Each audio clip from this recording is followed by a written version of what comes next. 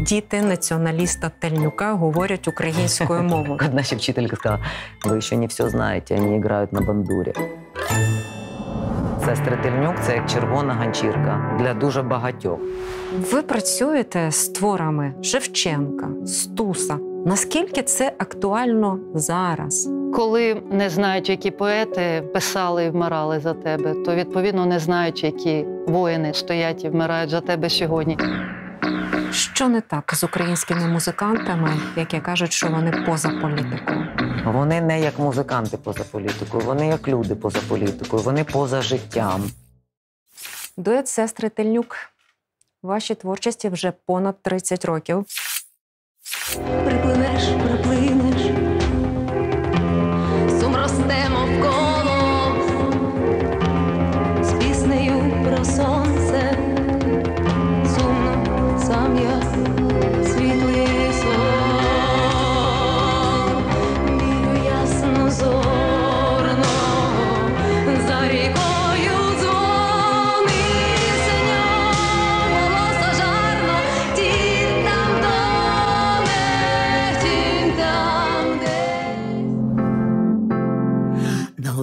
з малих полустанків я чекаю поїзда зранку, влаштувалась в кутку на лаві, щоб мене не знайшли цікаві.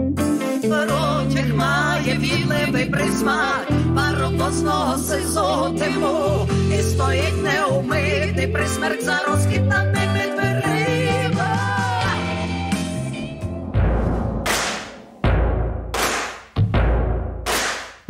Мої предки були невбогі на пісні та свячені ножі.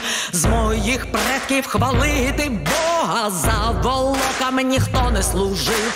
Дарували від батька до сина честь у спадок, як білу кість. Мої предки були красиві, ворогам на подиви злість. За цей час виросло вже нове покоління українців, які жили, народилися вже в незалежній країні. Як ви думаєте, їм пощастило жити саме тут, саме зараз? Очевидно, це буде відомо трошки пізніше. Але е, я думаю, що в тих обставинах, в які попадають люди, навіть від свого народження, вже є якийсь, очевидно, промисел Божий, і вони приходять в цю країну, на цю землю з якоюсь метою і з чимось таким, з якоюсь місією, яку кожен з нас повинен зробити на цій землі. Я чого питаю, вам просто є з чим порівнювати. Та? Ви починали свою творчість ще у 80-х роках. Починали так, як ми були дуже, дуже молоді, під майже підліткового віку, коли з'явилися наші перші пісні. І молодим завжди все легко. От, і вони впевнені в собі. Їм здається, що світу вони необхідні. Вони необхідні своїм друзям, батькам, родичам, що всі просто потребують їхніх пісень. Очевидно, від того, що у нас е, батьки одразу дали нам таку зелену дорогу, не назвавши наші заняття з Лесією вдома і наші музикування помилкою. Вони сказали, що це о, це те, що треба, молодці. Вони не, не були музиканти, вони інтелігентні люди, які займалися літературою, і тато, і мама. Е, і вони не, не уявляли собі походу в музику, що таке піти в музику з власними композиціями, з піснями, з усім. Тому давали нам зелене світло, зелену дорогу. Ем, Нам здавалося, що ми в опозиції до світу, тому що е, ми зростали в радянській Україні.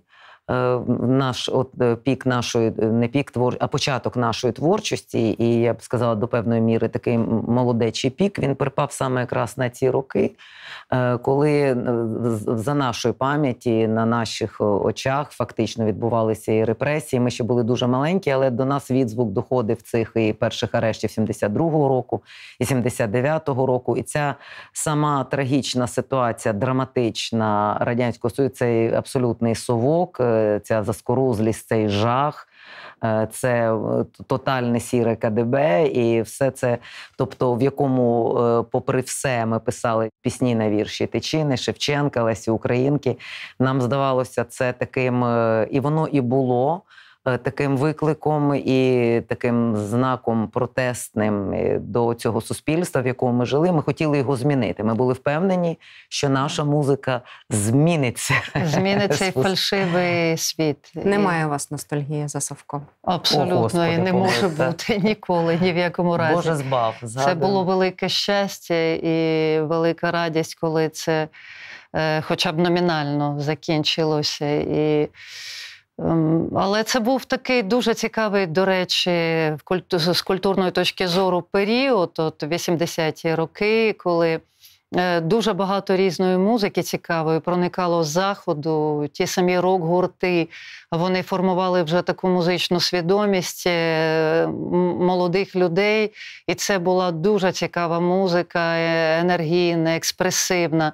Це була музика з цікавими текстами, глибокими, якимись незнайомими поворотами для нас там англійською щось перекладали, розуміючи, що це зовсім інший потік е, внутрішніх почуттів і е, взагалі. Потік свідомості зовсім іншого гатунку, ніж той, до якого звикли ми з екранів телевізорів.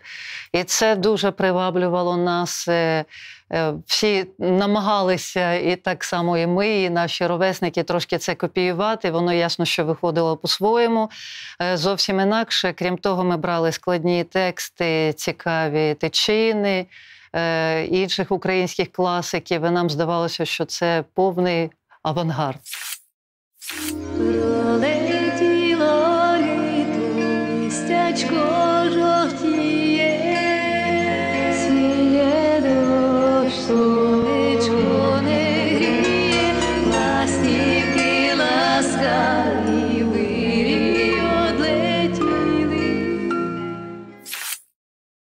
Ми абсолютно були впевнені в тому і переконані, що люди потребують цього естетизму, що люди потребують цієї висоти, що їм так набридла ця сірість.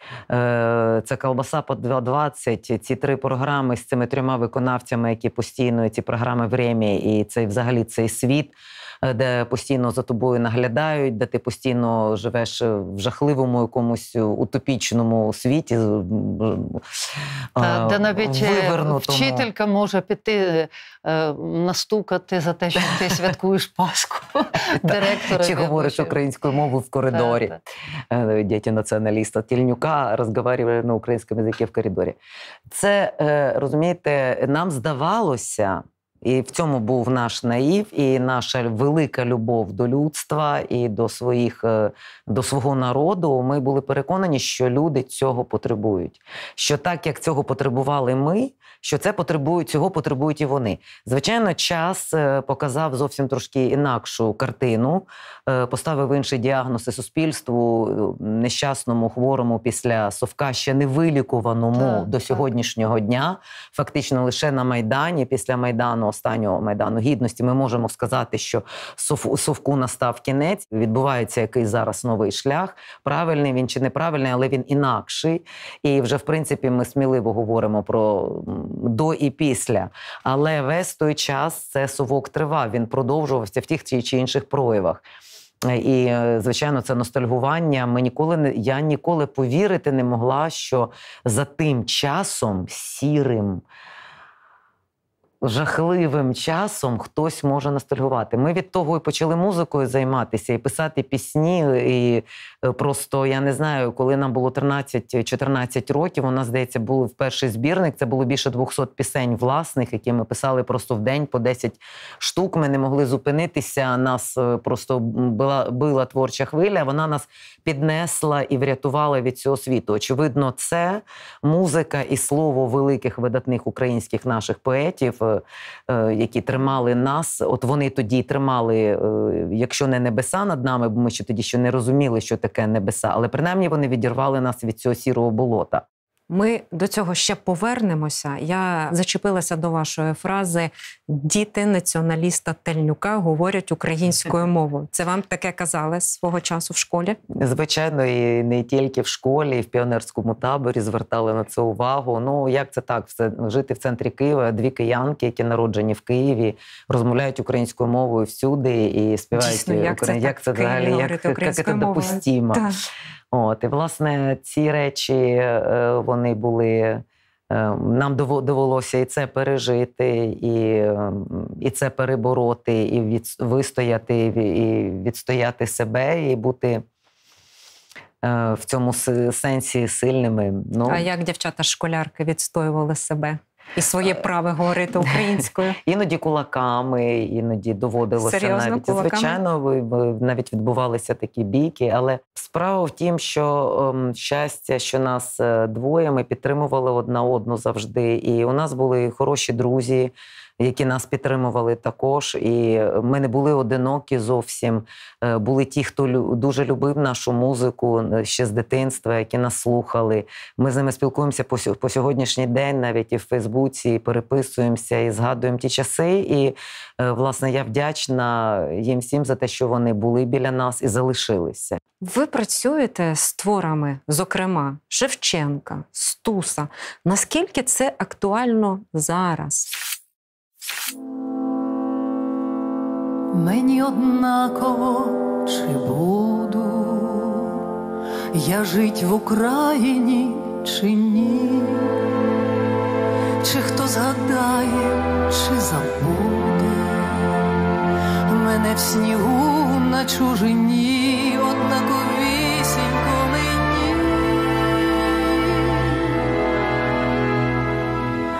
В неволі виріс між чужими і неоплаканий своїми, в неволі плачучи умру, і все собою заберу. Дуже актуально. Є такі речі, які для людської душі, я думаю, для її формування і для її сили укріплення завжди будуть актуальні. Як я думаю, молитва для християнина, який абсолютно вірить і безконечно в Божу присутність. Це те, що дає силу, це те, що дає такі внутрішні, я би сказала, обертони, внутрішню вібрацію сильну, яка тебе укріплює. Ці слова, ці е, е, фрази, які ти розумієш, що людина за них віддавала життя, що людина за них не просто писала їх на папері, сидячи в кріслі в зручних умовах. Коли ти це проєктуєш на своє життя, ти думаєш, Боже, ти щасливий, ти все маєш, ти живеш в комфорті, ти, е, ти абсолютно маєш все. А ці люди, у яких рвалося серце і кров капала за Україну з їхнього серця, вони були за, за ґратами і не мали, не мали нічого в цей час. Ну, вам є з чого проєктувати. Ваша родина була пов'язана зі, з Василем Стусом, так? Так, е, і е, Батько виступав свідком на процесі Василя Стуса. Так. Всі ці речі, звичайно, вони ми розуміли, що є світ наш і є світ інакший, є злий світ. Тобто, ми дуже добре розуміли, що таке добро і зло. і Ми вибирали, що добро це оці люди, це ці наші майже близькі родичі, такі як Шевченко, Леся Українка, Василь Стус, яких ми так сильно любили. І є світ зла, тобто як в казках. Це абсолютно ми розуміли, що там десь за межами нашої квартири відбувається зло, відбувається зло, в якому живуть люди, і чомусь вони живуть, і чомусь вони усміхаються, і виходять з транспарантами на якісь паради і радіють життю. Ви на той момент розуміли позицію свого батька? Це ж накладало певні негаразди життєві Так, на всю родину. На всю родину. І негаразди були ще й дуже серйозні, і сильні. І це накладало, але це настільки війшло в нашу сутність. Я думаю, що ми ніколи не думали про те, щоб. е, У нас був момент, коли нас хотіли навіть переманити в Москву співати е, російською мовою, але це навіть не те, що не стояло питанням для нас самих. Ми просто розуміли, що це ніколи цього не буде, і це неможливо для таких людей, як ми. От, е, і я би сказала, що це. От коли говорити про поетів і про ситуацію, яка була, чому ти від цього не можеш відмовитись? Ти розумієш, що це як твоє серце, як твоя внутрішня сила. Особливо людина, яка співає, от, скажімо, Стуса або Шевченка, вона набуває якихось абсолютно особливих рис всередині себе, Так, дуже позитивну міці. енергетику доброго, сильного героя, незламного, незворушного, навіть якщо його ламають йому крила, ноги, ламають, е, але не, ніколи не зламають хребет. Що вам запам'яталося з дитинства? Які розмови в сімейному колі, коли йшов процес над стусом? Да? Певно, що обговорювалось всередині. Ну, обговорю- ж, ну, та, обговорювали, але така стійкість і сміливість у батька була. Ну що він пройшов, не зламався, та, Та, він не це- зрадив. Ну, ситуація складна була, тому що батько до- до- достатньо нервова, емоційна дуже людина, і він говорив. Вони тобто, друзі, та, були е, з Василем. Він е, редагував його роботу. Він е, феномен доби чи сходження на Голгофу слави. Він давав татові нашому на редакцію, тому що батько займався тичиною, був таким молодим тичинознавцем. І вони в багатьох речах там він не був згодний з Василем Сусом. Він про це говорив там з ним, але це були їхні приватні розмови. От, але саме тому, що зафіксований е, знайдена була ця робота з помітками батька. Батько був притягнутий як свідок до на цьому процесі, де виступив дуже гідно і власне не. е, Наполягав на тому, що політичної складової в роботі Стуса немає, за що дали йому великий цей термін, і е, там він е, повівся гідно і повівся з достоинством. Хоча е, е, на той час вже у нашого батька було троє дітей.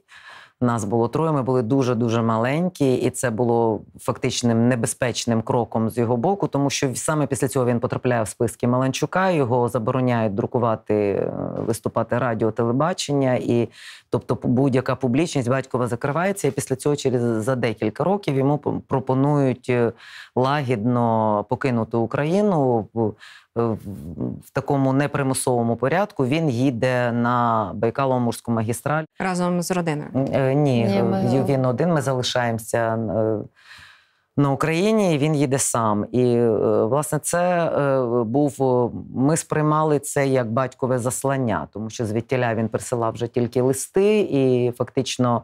Для нас це була велика дуже трагедія його від'їзд. Можна сказати, що той час нашого зростання і підростання він пройшов в дуже складних побутових навіть умовах, тому що одразу, звичайно, був сигнал на школу, на одну, на другу. На це було неможливо існувати. Тобто, ми вже були як офіційні діти, мало не засуджено, хоч батька не було засуджено. От, але ми вже були діти дисидента офіційно і офіційно такі ізгої в совєтській школі, що нашим українським язиком. А як одна ще вчителька сказала: ви ще не все знаєте, вони грають на бандурі. Ну, але е, це до певної міри і загартувало, і зараз про це смішно говорити і згадувати. Але Смішно, і дійсно багато хто може не повірити в це, але це було і просто такі аж до смішного, смішні історії. Це якось відбилося на вашій кар'єрі потім. Мені здається, що воно відбувається по сьогоднішній день, тому що е, фактично, якщо ми говоримо, що радянський союз і ще оця ностальгія продовжується, і номенклатурно залишилися ті самі персонажі, які були Ну, за радянської багато, доби. багато. Ну, більшість, е, то е, залишився найстрашніше, що залишилося після радянської доби, це виховання і смак. Що ви маєте на увазі? Е, Виховання і смак е, радянською культурою, оцією культуркою радянською, оце залишилося. Сприйняття культури, сприйняття музики, сприйняття поезії, сприйняття світу по-радянськи, радянськими очима. Оцими вузькими, такою маленькою бійничкою, в яку ти бачиш лише сірі, отакі якісь е, кольори, і більше нічого. Тобто, фактично, смак багатьох людей, які зайняли там певні позиції, він був настільки обмежений і залишився настільки пострадянським е, смітником. Е, Що по сьогоднішній день для них е, сестри Тельнюк це як якась така червона ганчірка для, для дуже багатьох. Дійсно, на жаль, така обмеженість навіть зацікавленості пізнати свою культуру, там е, людей, які її створювали. Воно відбувається на всьому. Спочатку не хочуть цього, потім не хочуть знати, хто за них гине, навіть імена. От е, сьогодні вбивають хлопців е, на фронті, імена їх насправді доросла зріла нація має ці імена промовляти. Кожен з нас ставати і там в молитві або внутрішньо, якщо людина не, не віруюча, говорити і знати просто, що Принаймні дякувати. що сьогодні Тарас, вчора Андрій, там Юрко, Богдан. А коли не знають, які поети писали і вмирали за тебе, то відповідно не знають, які воїни так само стоять і вмирають за тебе сьогодні. І так від це непізнання воно е, дійсно звужує простір е, людського сприйняття до такої вузької вузької дірочки, в яку видно тільки якийсь промінчик з телевізора, і то не, не зовсім хорошої програми. Ще горді славутові кручі, ще синьої річки збурунена гладь, та вже проминув тебе птахом летючим твій час, твій останній попереду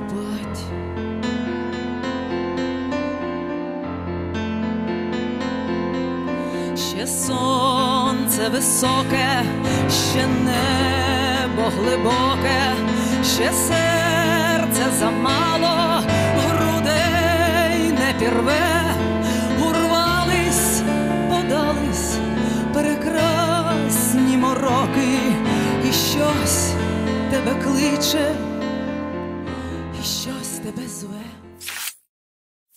Україна не доросла до Стуса. Вона ще не доросла. Вона ще не доросла ні до. Шевченка, Так. ні, ні е, до дуже багатьох, ні до Сковородині. Але йдеться е, про те, що вони вже це зробили. Вони вже зробили свій внесок і зробили вже свою жертву. І Шевченко, як пророк, він багато що передбачив, багато що сказав, і вони вже це зробили. А значить, це буде потрібно, а значить, це буде, і значить, це відкриють, і значить, це зроблять.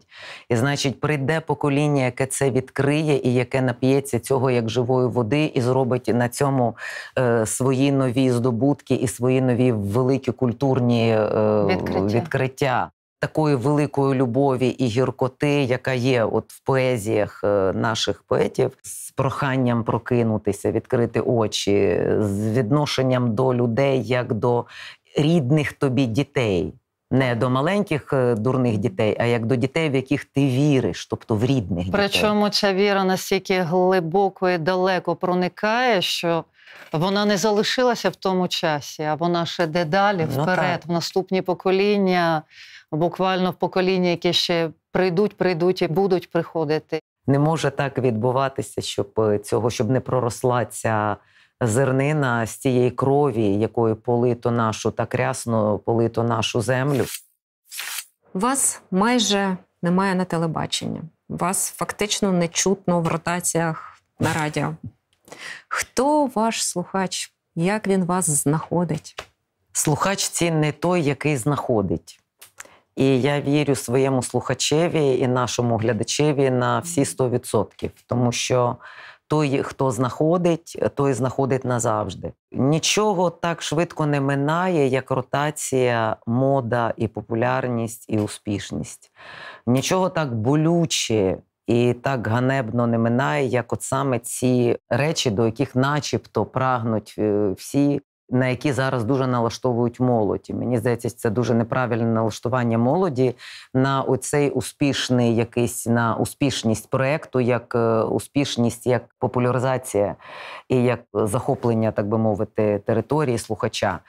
Е, Успіх е, лише тоді, коли він успіх внутрішній, і коли тебе знайшли з твоїм з твоїми відкриттями, з твоїм ми промовляємо, звичайно, і звичайно хочеться, щоб аудиторія була ширша і більша.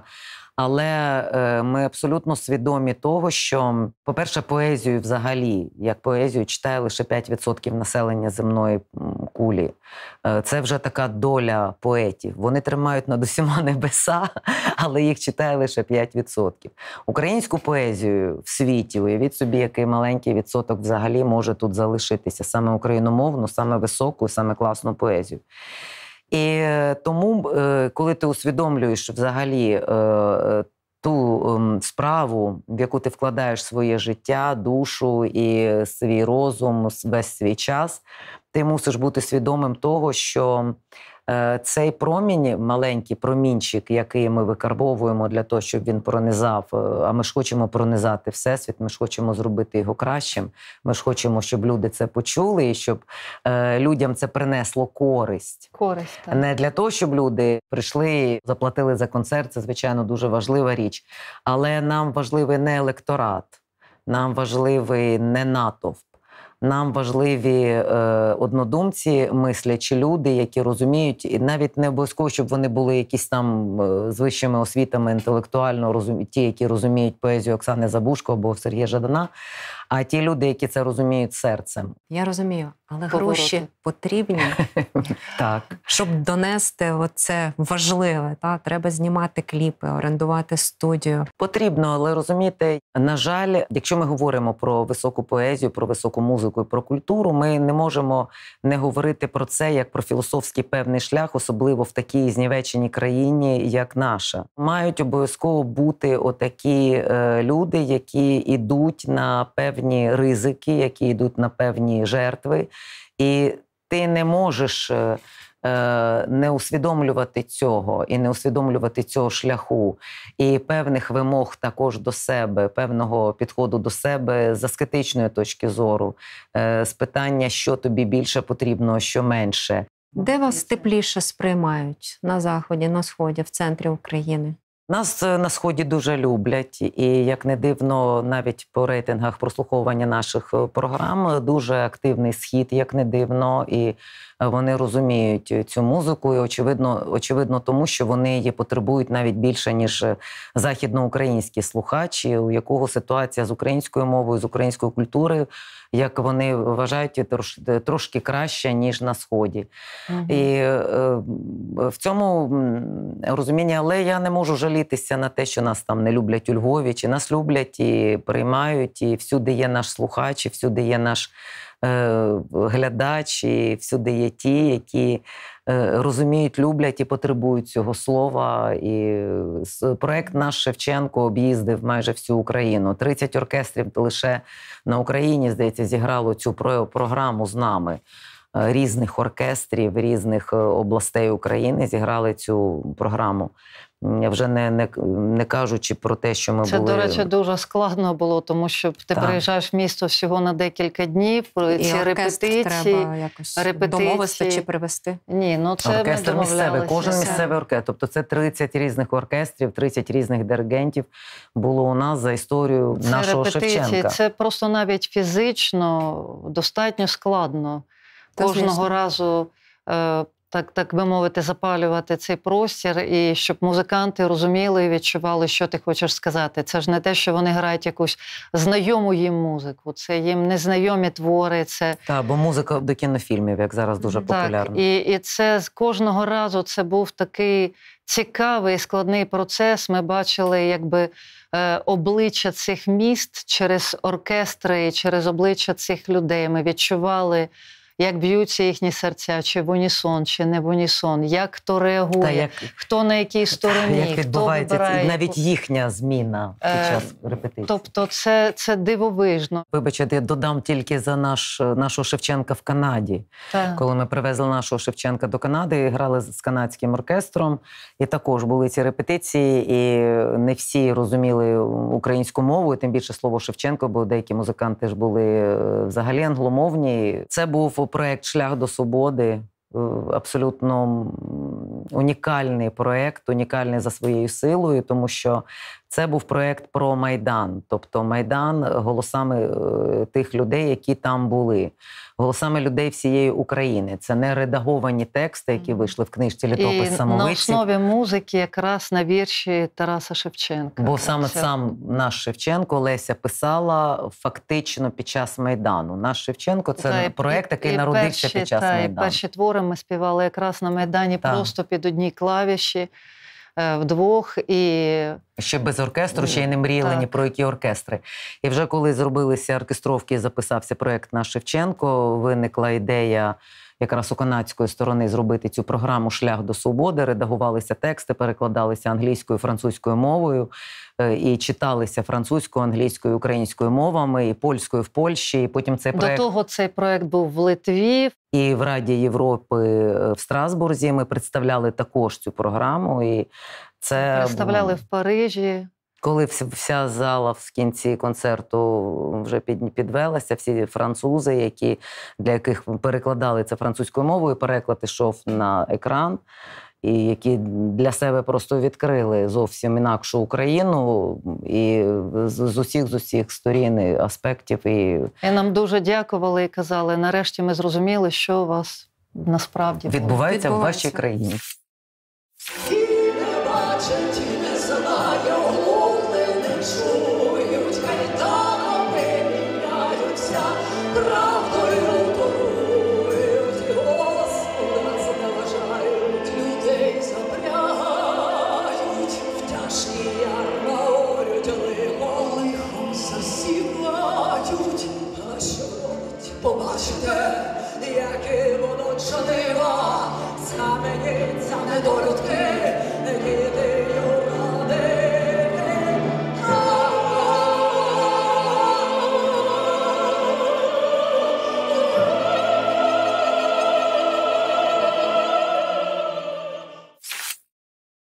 Як війна відбилася на ваших концертах, на вашій творчості?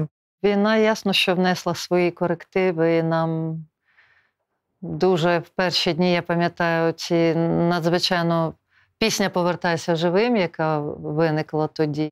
Так хотілося підтримати, чим ми могли наших військових, наших хлопців, всіх. І я пам'ятаю, це такий був щирий порив, що ми тут просто за один день, за вісім та галя годин ага. разом з козаками е, зробили цю пісню, і такому були піднесені. Нам здавалося, що ми просто влили трошки живої справжньої крові. Наче і... ми патрони кліпали. Так, та, і... так і є.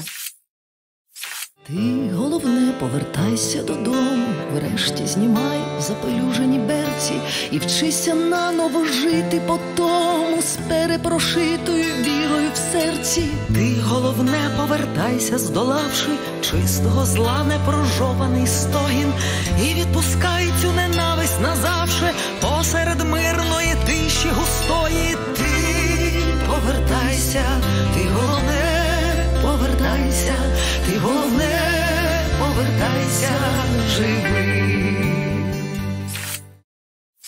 Насправді я думаю також, що ці речі вони дуже потрібні. І Ми не один раз потім це чули, і нам говорили, і хлопці військові, що е, їх це дуже підтримувало у багатьох навіть на телефонах. Просто звук сигналу це були позивні з цієї пісні. Ну, це, це дуже важливо. Це такі якісь е, сердечні коди, які передаються від серця до серця, піснею, словом і бажанням добра, любові, і бажання, щоб ти вижив, щоб ти повернувся живим. А тексти Шевченка вони дійсно дуже сильно. Пам'ятаєш, Галя, як ми їздили з концертами і військові частини, угу. як хлопці реагували? На ці так. Дивна річ, що нам говорили е, військові. Е, бо у нас досить серйозна така програма, і навіть е, якщо на Шевченкові тексти, то є такі пісні, як Ой Діброва, більш такі ліричні і візуальні, я б навіть назвала ці поезії, а є такі, як мертвими живими ненародженими.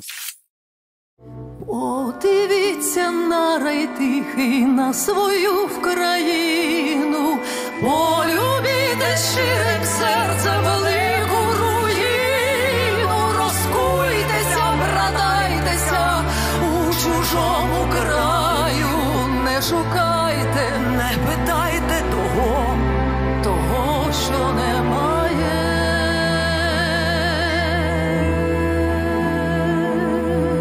І на небі, а не тільки на чужому полі, своїй хаті своя правда і сила, і.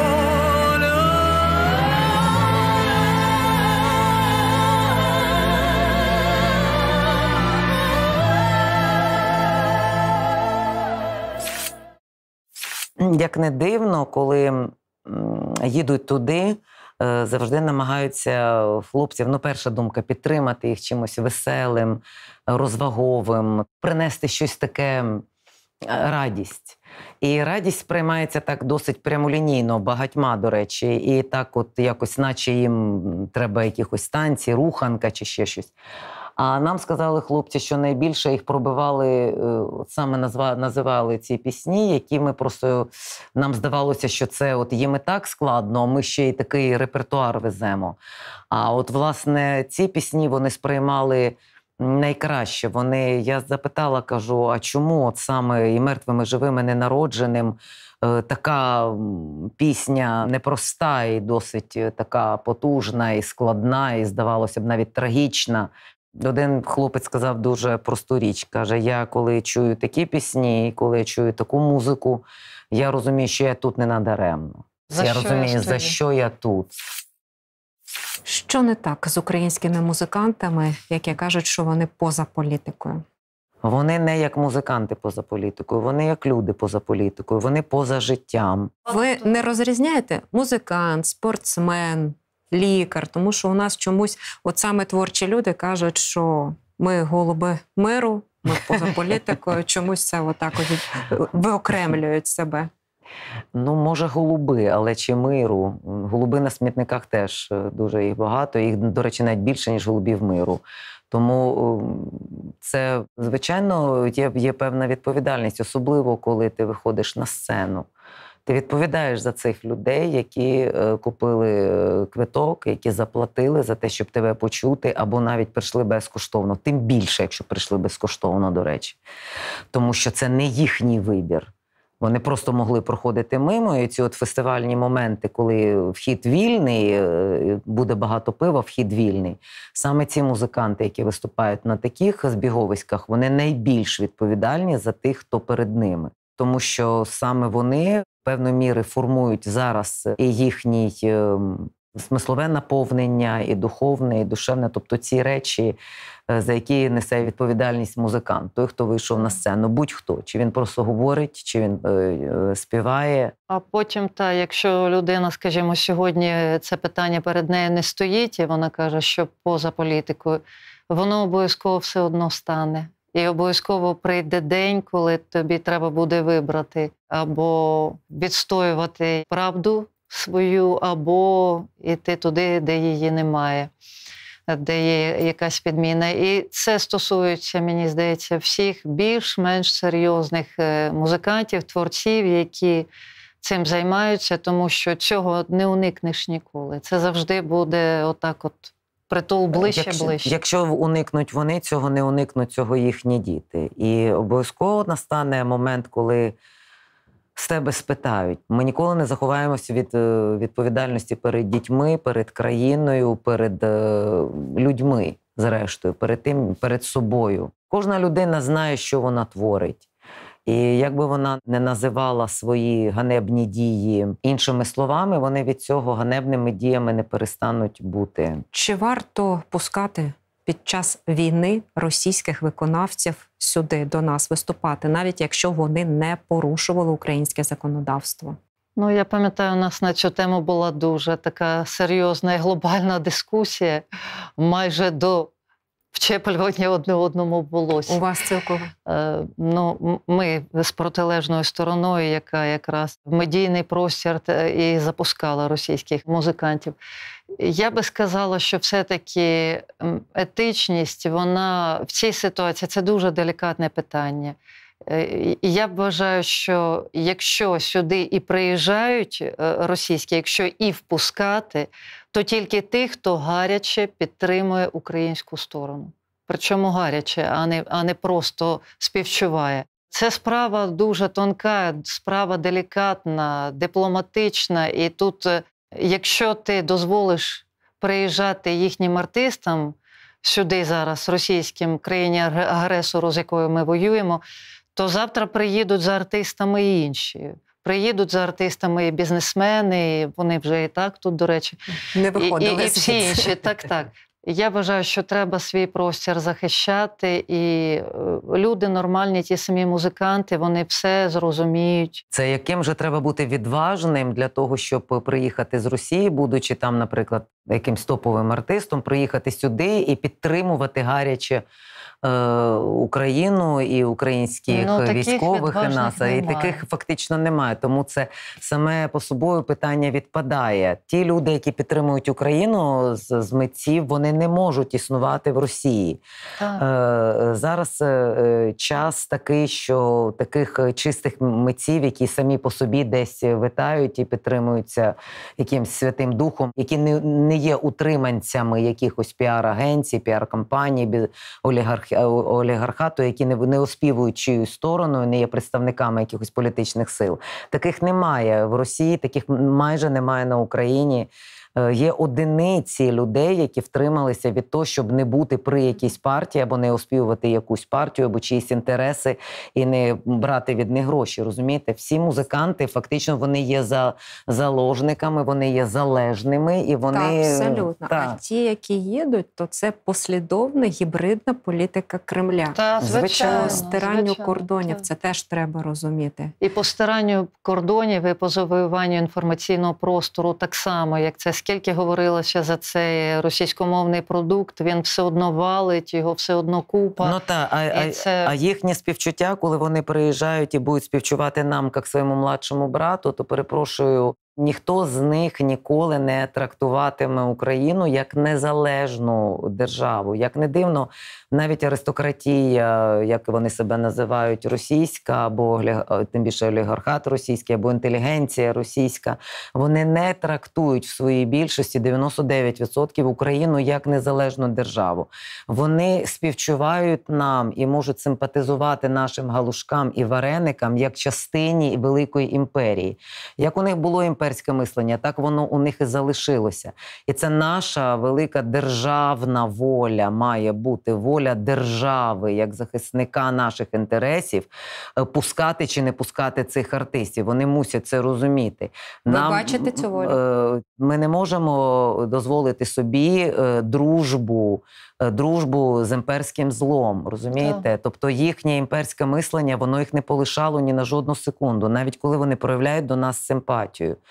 е, До наших вареників і борщу, і та- таким таким мілим, смішним українцям. Розумієте? Чи і тому... бачите ви таку волю держави зараз? Е, Звичайно, ні. Ну як це я можу бачити волю держави? Я бачу е, те, що бачать е, всі велике будівництво, веселу державу, яка намагається вилучити все українське з України великою своєю модерною, як вони називають, мітлою, і зробити нову свою веселу таку убільонну державу, красиву, якусь е, сучасну. Я не знаю, правда, на що вони рівняються і що вони формують. Якесь таке це мені нагадує якихось таких дуже бравих піонерів, які будують е, дом 2 не знаю, в самій цій Україні, і щось вони таке будують, якесь щось нове. А з чого ви вирішили, що вони намагаються вимести Тому що все це видно по тому, як відзначалися День Незалежності минулого року. Це видно по тому, як відзначалася е, е,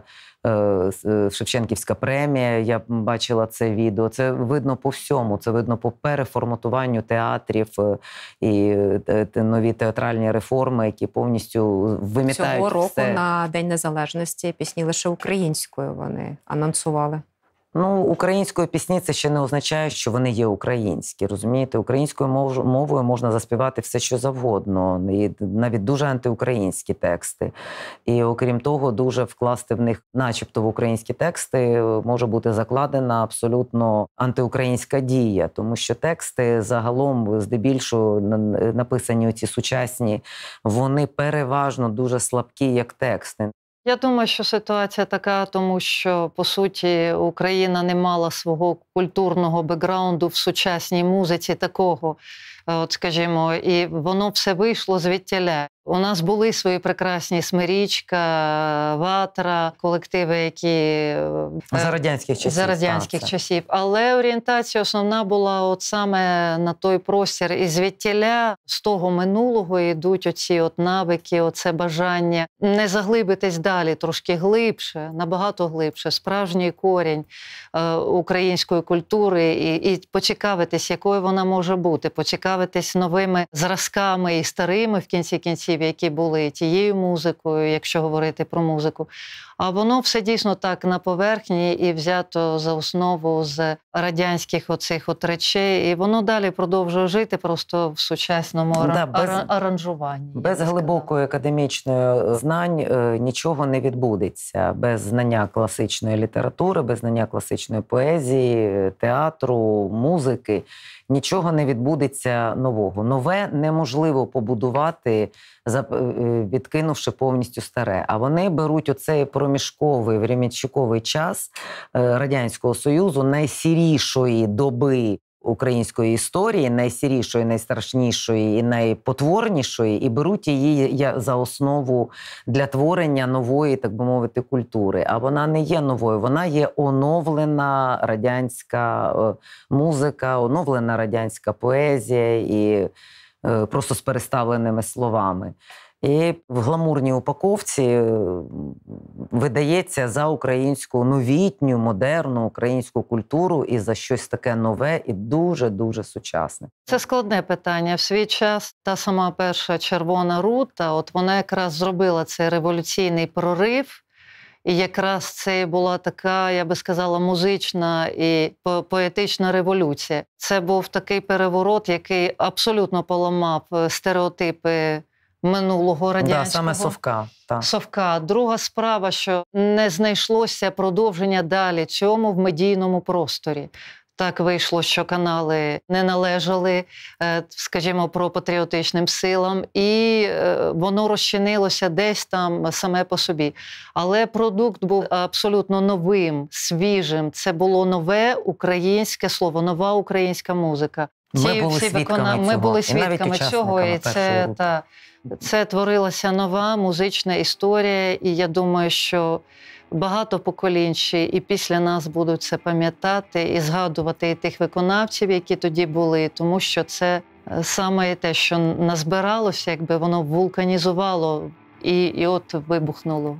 Підсумовуючи, якою має бути м'яка сила України, аби ми перемогли в цій війні? М'яка сила. Ну, м'яка, не військова, м'яка. Так, гарне запитання. М'яка сила? А вона, якщо сила, то вона вже сила. Вона м'яка чи тверда, але вона буде силою. І це правда. Я би бажала нам, кожному з нас, сили внутрішньої, перш за все, в кожному в собі.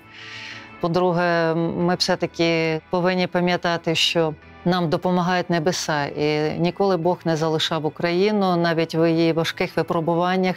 І ми повинні це пам'ятати і вірити, і просити Бога про це. Є навіть таке в християнстві поняття, що і не одного разу такі приклади були, коли молилася ціла держава, цілий народ, ставалися чудеса, і вороги відступали.